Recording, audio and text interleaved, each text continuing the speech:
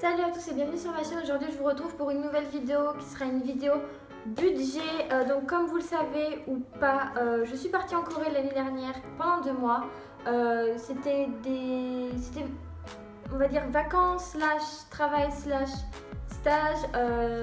je, dis, je dis vacances parce que j'ai énormément profité pendant ces deux mois, même si je suis partie dans un contexte d'étudiante, parce que je suis partie pour un stage. Donc j'ai travaillé, mais euh, je ne vais pas vous mentir, j'ai énormément profité aussi. Et je me suis dit pourquoi pas faire une vidéo budget pour euh, bah, toutes les personnes qui souhaitent partir en Corée et qui se demandent à peu près combien, combien économiser, avec combien d'argent partir et euh, le coût de la vie là-bas. donc voilà, c'est parti. Premièrement, l'avion. Donc l'avion, moi je suis partie, donc j'habite en Dordogne, donc je suis partie de Bordeaux. J'ai fait Bordeaux-Paris, Paris-Séoul avec Air France. J'en avais pour environ 400 euros aller-retour.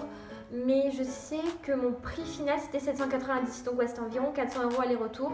Et le tout, j'ai payé 789 ou 790 euh, aller-retour d'avion euh, sans escale. Enfin, escale à Paris, mais j'appelle pas ça une escale parce que j'avais 45 minutes de vol euh, Bordeaux-Paris. C'était juste vraiment pour aller à Paris. Donc voilà, donc ça c'est, je trouve, raisonnable pour un aller-retour à Séoul. Euh, voilà. Ensuite, le logement. Donc moi j'étais en colocation, euh, j'étais en colocation dans une maison, enfin un appartement, un appartement plutôt. On était 10, 10 étudiantes, 10 euh, étudiantes et puis il y avait certaines personnes qui étaient là juste pour les vacances aussi. J'étais dans le quartier de Hanam, donc qui est le quartier de Korea University, qui est un quartier assez euh, reculé, euh, c'est pas, pas Hongdae, c'est pas Itaewon, c'est pas Myeongdong. Donc c'est pas vraiment un quartier touristique, c'est pas un quartier... Euh... Si, c'est un, bon quartier, mais bon. C'était assez abordable, on va dire, le quartier où j'étais. Et ce que, voilà, ce que je veux dire, c'est que c'était assez loin de, euh, vraiment les gros quartiers touristiques où on peut sortir, s'amuser, etc. Et j'ai payé environ 360 euros chaque mois, euh, internet compris, internet électricité comprise, enfin tout compris quoi. Euh, et j'avais une caution de 500 000 won que j'ai récupéré à la fin. Donc 500 000 won, c'est 480 euros, je dirais, 470, 480 dans ces eaux-là. Donc qui est assez, ce qui est assez raisonnable parce que ben, je les récupère à la fin de mes deux mois. Donc c'est vraiment, on va dire, c'est pas vraiment de l'argent dépensé quoi. Puis c'est juste, on va dire, l'argent mis entre parenthèses que je récupère à la fin. Donc ça allait. Donc 360 euros euh, les deux mois, donc chaque mois. Euh, donc voilà, c'était plutôt cool. J'étais dans un appartement de l'organisation Borderless House que je mettrai en barre d'infos. C'est des appartements topissimes. Euh, ils en ont partout en Corée, ils en ont au Japon également et ils en ont aussi à Taïwan. c'est vraiment, vraiment top. Il y a plein d'étudiants. Le staff est très gentil, les appartements sont nickel. Ensuite, la nourriture. Euh, donc là, on va parler de tout ce qui est la nourriture que euh, j'ai consommé euh, au petit déjeuner, déjeuner, dîner chez moi. Donc c'est pas ce que je mangeais quand je sortais en ville ou quoi que ce soit. C'est vraiment ce que je mangeais quand je restais à la maison. Donc j'ai calculé environ, j'ai acheté pour 140 euros de nourriture par mois, euh, ce qui fait bah, du coup du 280 pour les deux mois euh, en nourriture. Donc ce que je vous recommande, c'est l'erreur que j'ai faite les deux premières semaines, c'est de vouloir acheter euh, comme en France. Et quand je dis ça, je vais dire d'acheter du Nutella, d'acheter du pain de mie, d'acheter des pâtes aussi. Tout ça, quand je vais repartir l'année prochaine, enfin en septembre, je le referai pas euh, parce, que, ben, parce que ça coûte cher. Le Nutella en Corée, euh, ça coûte la peau du cul, clairement. On va pas se mentir. Je vais vraiment faire attention à ce que j'achète parce que ben, clairement, ça vaut pas le coup euh, de payer un pot Nutella petit comme ça. 6 euros, c'est juste non.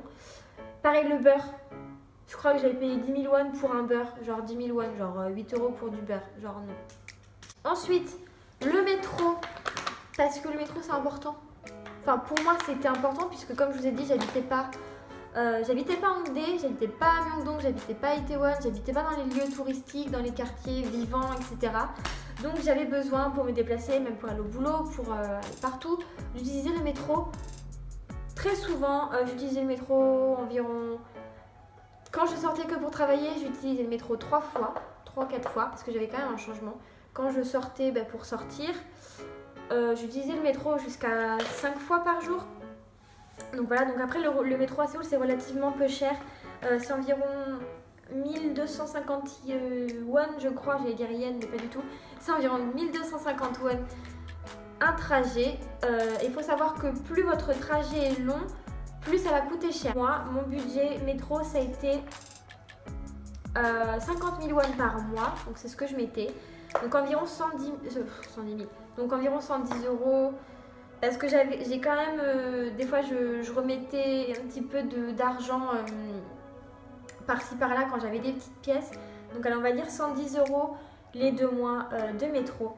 Ensuite, un truc très important je pense pour ceux qui vont partir en vacances et juste en vacances en Corée, tout ce qui est concerts, sorties, festivals, boîte de nuit, etc. etc.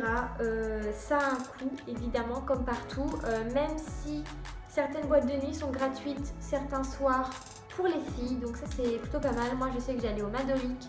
Et le jeudi, c'était gratuit. Le jeudi soir pour les filles. Euh, qu'est-ce qui était gratuit d'autre à faire à Seoul Oui, les derniers mercredis du mois, si vous voulez faire des visites culturelles, les musées, les temples euh, sont gratuits, l'entrée est gratuite les derniers mercredis de chaque mois parce que c'est le mercredi, euh, de, dernier mercredi de chaque mois, c'est la journée culturelle euh, à Séoul. Donc en gros, vous pouvez rentrer dans les musées et dans les palaces gratuitement. Mais il faut savoir que les palaces, c'est vraiment pas cher, même si vous n'allez pas le dernier mercredi du mois, vous n'allez pas vraiment payer cher parce que c'est 3000 euros l'entrée, euh, 3000 3000 won l'entrée et 3000 won ça équivaut à peu près à 2 euros. Donc c'est vraiment pas cher. Mais si vous avez vraiment envie ben, d'économiser de l'argent, allez-y le dernier mercredi du mois. Les concerts, euh, les concerts, euh, les concerts, j'ai craqué. je vous ai fait la vidéo de la semaine dernière qui vous explique à peu près quand j'ai fait des sorties. quand je suis allée voir les Boys 24, j'avais dépensé beaucoup d'argent, je suis allée voir beaucoup de concerts. Ben, les Boys 24, je suis allée voir 10 fois je suis allée voir les Monsteaks, je suis allée voir G-Dragon, je suis allée voir. Mais après, je suis allée des festivals et j'ai vu Twice, BY. Euh, en tout cas, en concert et en sortie, euh, prenez assez d'argent pour ça, prenez un budget assez conséquent. Parce que moi, ça m'est quand même revenu à 500 euros. Et c'est une moyenne. Euh, parce que j'ai sûrement dépenser plus. Mais oui, ça m'est environ revenu à 500 euros. Ensuite, pour tout ce qui est manger dehors, donc Séoul, euh, vous allez, si vous aimez la bonne bouffe, vous allez être gâté à Séoul parce qu'il n'y euh, a que de ça, clairement. Que ce soit euh, les cafés, les restaurants, les, les, les, les, vendeurs, vous savez, dans la rue qui vendent des petites brochettes et des petites conneries comme ça, vous allez être gâté. et puis ça coûte pas pas trop cher, franchement ça va, c'est assez abordable. Moi j'en ai eu pour les deux mois pour 250 euros en tout de, ben, de manger dehors, en comptant ben, voilà, les cafés, les Starbucks, les, les, enfin de tout quoi, en comptant tout ce que, toutes les fois où j'ai mangé dehors. Et enfin, dernier point très important, le shopping. Euh, j'ai craqué aussi pas mal sur le shopping. J'ai fait environ 400 euros de shopping. Quoique non, 400 euros ça passe. Non, ça passe pas. Enfin bref, j'ai craqué sur le shopping, clairement. Surtout, euh, mon dernier jour en Corée, j'ai peut-être dû dépenser la moitié de mon budget shopping le dernier jour. Donc voilà, donc 400 euros, à peu près de budget shopping. Euh, donc c'est deux mois en comptant vraiment tout. Ça m'est revenu à 3100 euros arrondi à peu près. Euh, faut savoir que, donc là je vais essayer de me justifier ou pas. Il faut savoir que euh, ne faites pas les mêmes heures que moi. Hein. Moi, j'ai fait grave du craquage au niveau des sorties concerts. Donc, si vous y allez et que vous êtes des êtres humains normaux, vous allez assez que vous êtes des êtres humains normaux, n'allez pas dix fois voir votre groupe préféré en concert. Ne faites pas la psychopathe parce que. Parce que voilà. Euh, mais euh, je précise, c'est moi qui ai en partie payé mon voyage, euh, en partie, le reste je l'ai remboursé quand je suis rentrée en France. Donc voilà, donc du coup j'ai la conscience assez tranquille quand même. Et puis si vous allez à Séoul et que c'est pour les vacances, c'est pour profiter aussi, on va pas se mentir. Donc pourquoi pas faire des petits craquages de temps en temps.